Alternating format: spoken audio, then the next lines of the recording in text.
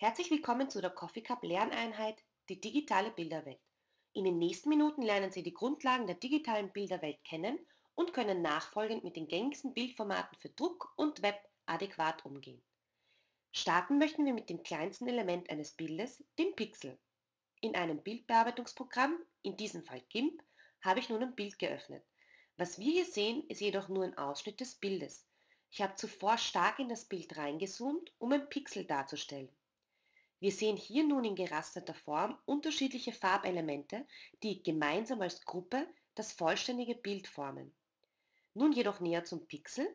Wenn wir ein Bild stark vergrößern, sehen wir unterschiedliche Farbwerte, die in diesem Fall in quadratischer Form aneinander geordnet sind.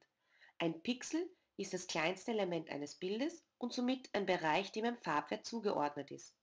Zoomt man nun immer mehr heraus, erkennt man immer besser das Bild. Der Ausdruck verpixelt kommt daher, wenn zum Beispiel ein Bild in nicht ausreichender Qualität dennoch groß dargestellt wird und die einzelnen Farbwerte mit freiem Auge erkennbar sind. Pixel leitet sich aus der Wortkombination Picture und Element zusammen. Und nun kommen wir auch schon zu dem zweiten Punkt, zur Auflösung. Die Auflösung gibt die Größe eines digitalen Bildes an.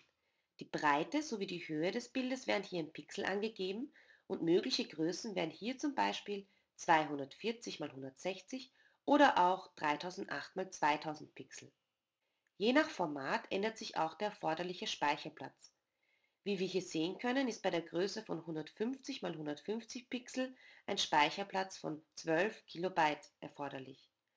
Bei der größeren Auflösung, wie zum Beispiel mit einer Breite von 3008 und der Länge 2000 Pixel, wird sichtlich mehr, nämlich 3 MB Speicherplatz benötigt. Ist das Bild größer, werden mehr Pixel und somit auch mehr Farbinformationen gespeichert. Im nächsten Schritt möchten wir uns mit den unterschiedlichen Bildformaten auseinandersetzen. Die wichtigsten Formate sind hier PNG, JPEG, GIF und TIFF. Wir gehen von einem Bild aus, das in unterschiedlichen Formaten abgespeichert wurde. Je nach Dateiformat besitzen diese unterschiedliche Dateiendungen. Da je nach Dateiformat unterschiedlich viele Bildinformationen gespeichert werden können, ist der erforderliche Speicherplatz der erste große Unterschied, den man erkennen kann. Weiters können auch nicht alle Formate transparente Flächen speichern. Als Beispiel hierfür habe ich das JPEG sowie das PNG-Dateiformat geöffnet. Wir erkennen hier, dass beim JPEG die Hintergrundfläche weiß und beim PNG-Dateiformat diese transparent gespeichert wurde. Das letzte Thema, mit dem wir uns beschäftigen, ist der Druck von Bildern.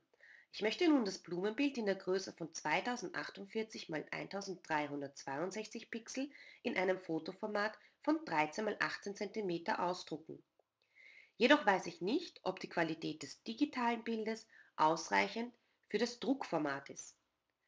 Um diese zu erreichen, benötigt der Drucker eine weitere Dateiinformation, nämlich den sogenannten DPI-Wert, Dots per Inch. Dieser gibt die zu bedruckenden Farbpunkte pro Zoll bzw. die Dichte der Farbwerte beim Ausdruck an. Je höher die dpi-Zahl, umso schärfer wird der Ausdruck.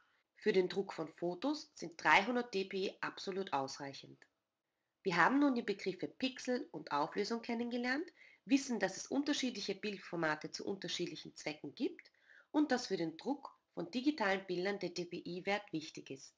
Im nächsten Schritt der Coffee Cup Lerneinheit finden Sie Lernmaterialien, wo jeder Punkt noch mit zusätzlich relevanten Inhalten beschrieben wird.